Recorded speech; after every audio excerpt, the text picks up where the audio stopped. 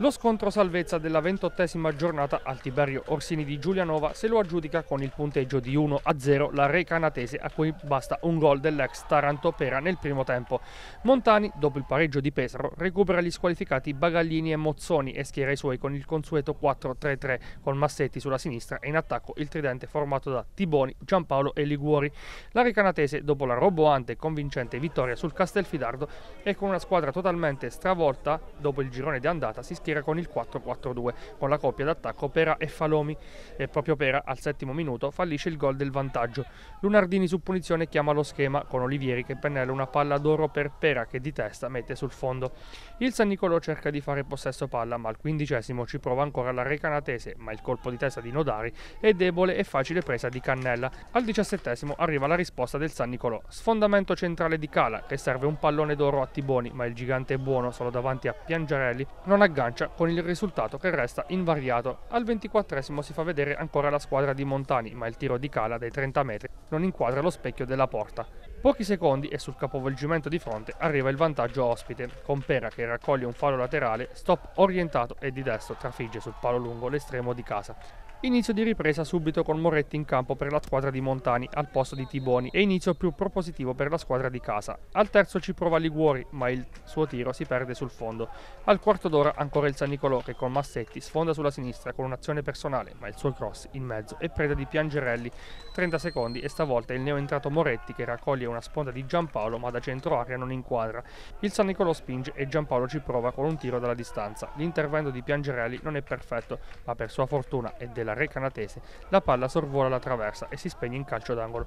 Da qui alla fine della gara nient'altro, solo alcuni cambi per entrambe e un'azione di contropiede della Recanatese che sfiora in due circostanze il raddoppio con Pera e Lunardini. Su quest'ultimo ottimo l'intervento di Cannella. Dopo 4 minuti di recupero finisce la gara con il San Nicolò che avrebbe meritato sicuramente un pareggio per quanto visto nel secondo tempo. Recanatese che di contro con la vittoria si allontana dalla zona calda della classifica. Mister, forse l'azione del primo tempo se si sviluppava in maniera diversa con eh, un tu per tu col portiere c'era il gol dell'1-1, forse si parlava di un'altra partita, di un altro risultato.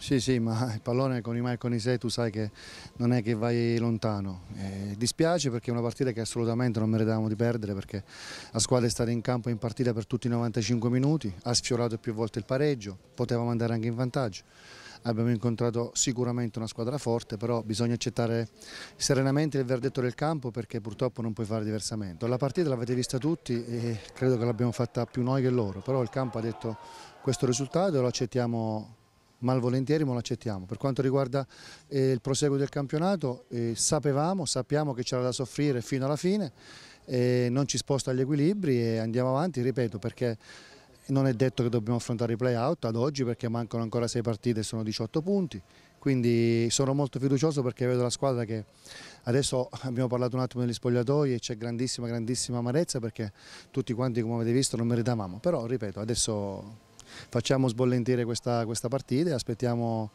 di affrontare giovedì il Monticelli. Ma noi in questo momento ci accontentiamo di ottenere questa salvezza che è ancora difficile E le prossime gare saranno quelle a decidere, però oggi era un, uno scontro diretto, importantissimo. La squadra è partita molto bene la prima mezz'ora, poi una volta in vantaggio magari eh, sentiva troppo o ha sentito troppo l'importanza della gara e ha cercato di amministrare. Eh, però nella consapevolezza che questa era una partita da dentro fuori perciò ci avrebbe rimesso in condizioni critiche e siamo stati bravi a portarle in porto.